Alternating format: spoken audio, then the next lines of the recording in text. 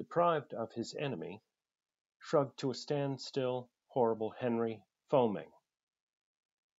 Fan their way toward him who will, in the high wood, the officers, their rest, with PA echoing.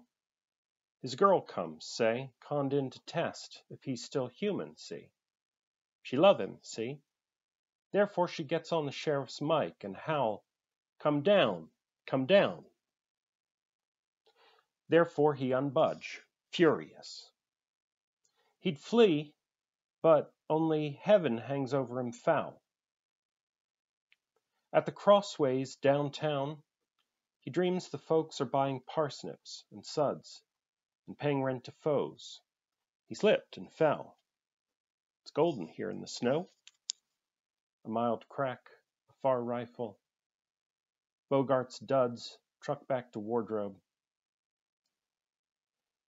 Fancy the brain from hell held out so long. Let go.